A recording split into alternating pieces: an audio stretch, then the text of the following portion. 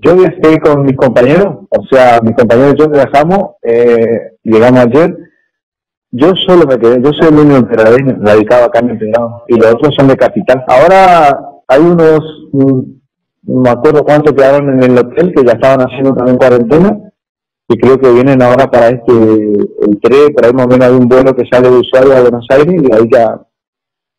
y después los otros están esperando el resultado del hisopado que se hicieron antes de ayer. Antes de. Acá sí estamos haciendo elemento. Acá ya me trajeron y estoy en una cabaña solo, solo, solo. Estoy esperando que me vengan a hacer el hisopado o no sé si me van a hacer un test o me van a quitar un poquito de sangre para ver que este fue otra cosa. Y que estuvo, ya estuvo muy, muy, ya digamos, cerca de la muerte en el sentido mío.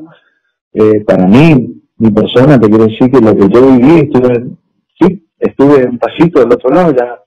siempre tuve la muerte cuando te esa enfermedad, siempre, de la forma que me habló a mí, como que tuve la muerte siempre al lado de mí. Llega, ahora entiendo por qué la persona cuando eh, necesita respirador, entiendo muy bien por qué necesita el respirador,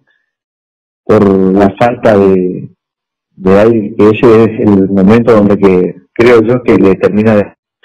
ahí en, mi cucheta donde estuve, que es como que el aire te quema y te obliga a que dejes de respirar porque cuando más respiras el aire vas quemando y es como que te van cortando toda esa vía respiratoria que, que va lleno y después sentada en los pulmones. Y ese creo yo que es un momento donde la persona necesita un respirador y, y bueno, si se afasa, yo no tuve esa suerte, pero creo que la eh, mi cuerpo resistió y bueno, eh, fue un momento traumático porque tuve un momento donde que perdí el conocimiento, me di cuenta yo que ya no creo que dejé de respirar, no sé, que no me acuerdo muy bien, que hay personas que me molestan, que, qué sé yo, de, esta enfermedad, de, las personas que están trabajando, eh, como los policías, los de sanidad, los de salud pública, todo, que, que no es solo acá en, en, en Corriente, que no es solo en Chaco, es en todo el país.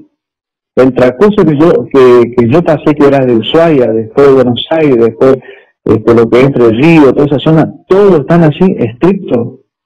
No es solo acá en Corrientes, no es solo en, en Chaco, es en todo lado, en todo lado te exigen que, que porque es una enfermedad, una, una, enfermedad que a lo mejor a vos te agarra de una forma, pero a los que están a, tus seres queridos le puede dar de otra forma y lo vas a terminar matando. Hay que ser consciente de la enfermedad.